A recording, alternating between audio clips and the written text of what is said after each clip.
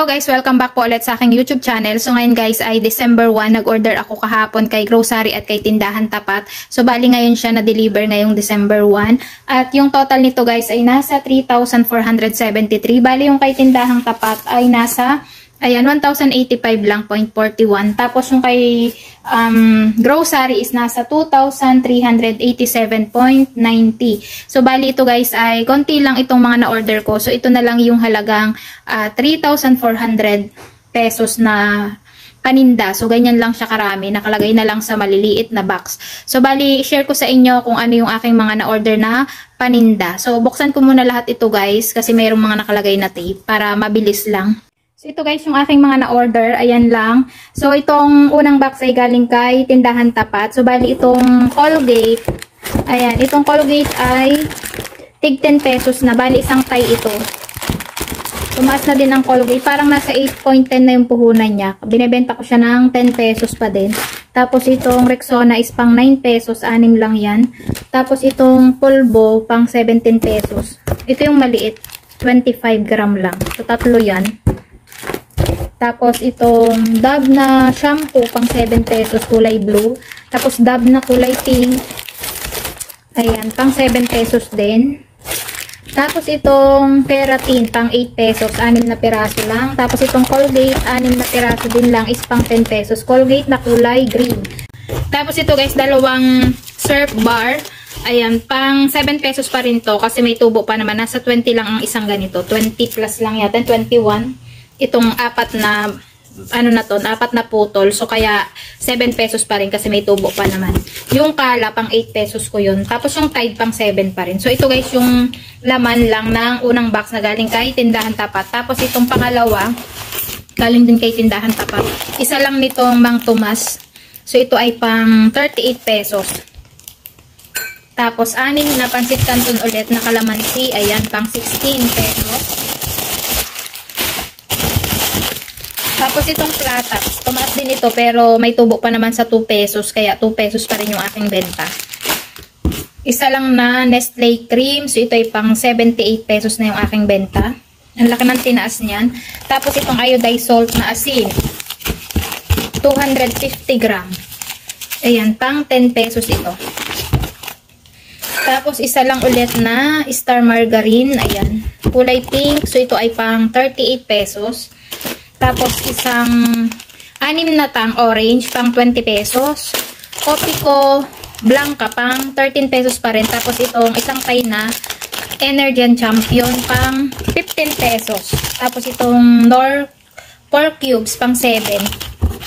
Isa lang na Unipack pang 70 pesos na. Dating 68, so ngayon ay 70. Tapos itong San Marino is pang 39 pesos. Ayan, dalawa lang yan. So, yan guys, yung galing kay tindahang tapat. Yan yung nasa 1,000 uh, pesos na aking na-order sa kanila. Ayan, 1,085. Tapos, dito naman tayo kay um, grocery galing. So, bali, Sunsilk na green, dalawa lang ito, pang 7 pesos. Tapos, dalawang tie din na palmolive na kulay green, pang 7. Umorder din ako ng palmolive na blue kasi mabenta yun, kaso wala. May free sana yun. Kaso, naubos na siguro, kaya wala nang dumating. Ayan, tatlong tie na sansel, kulay pink, pang 7 pesos. Itong tie, guys, ay pang 14 ko lang, pero tumaas na siya, nasa 75 na yung puhunan kay grocery. Kaya, gagawin ko na siyang 15 pesos, pati yung Ariel, at saka itong tie, gagawin ko na siyang 15, kasi 14 lang yung benta ko. Tapos, itong surf ay pang 7 pesos na din, surf Pubcon. Tapos itong Sunrocks na 250 ml ay pang 17 pesos. Tapos itong Sunrocks na maliit, ayan, apat yan is pang 10 pesos ang isa. So yan guys, yung galing kay uh, grocery. Tapos itong nakalagay sa nakalagay sa um, paper bag. So ko crispy fry na maliit is pang 12 pesos, yung half kilo. Tapos isang tie na Bear Brand Padalawang beses pa lang na naka-order ako nitong Adult Plus kasi nung unas may nagtanong lang tapos bumili ako. Ayun, naubos naman tapos bumili ulit ako ngayon. Pang 19 pesos yung aking benta sa Bear Brand Adult Plus. Itong Unipack is nasa 28.70 yung puhunan nito. Kaya binebenta ko siya ng 33 pesos. Mas mahal to kay tindahan tapat itong Unipack. Apat yung in-order ko. Mura to kay grocery, 28.70 lang. Kay tindahan tapat is nasa 30 yung puhunan niyan.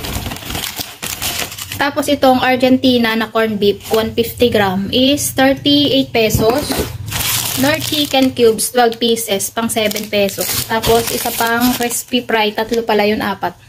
Ayan, pang 12 pesos. So yan guys, yung laman ng paper bag. Tapos ito lang, uh, sigarilyo. So yan, Malboro 8 pesos, Mighty 6, at saka Fortune is 6 pesos. So yan lang lahat guys, yung aking mga na-order kay grocery at kahit tindahang tapat. So, ganyan lang lahat karami yung paninda na 3,400 pesos.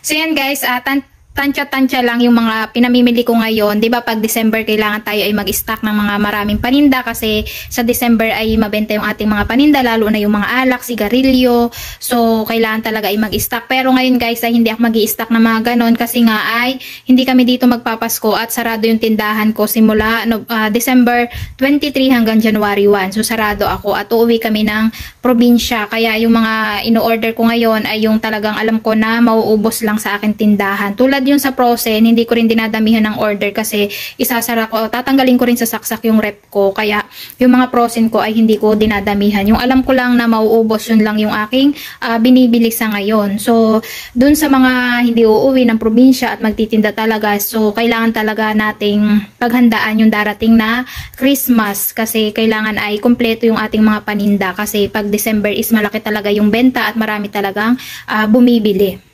So yun guys, hanggang dito na lang po yung vlog ko. Kung nagustuhan nyo po, please like, subscribe to my YouTube channel and pakiclick na rin po ang notification bell para updated po kayo sa mga bagong videos na aking i-upload. Thank you very much po. Happy sailing mga kasari. Bye-bye!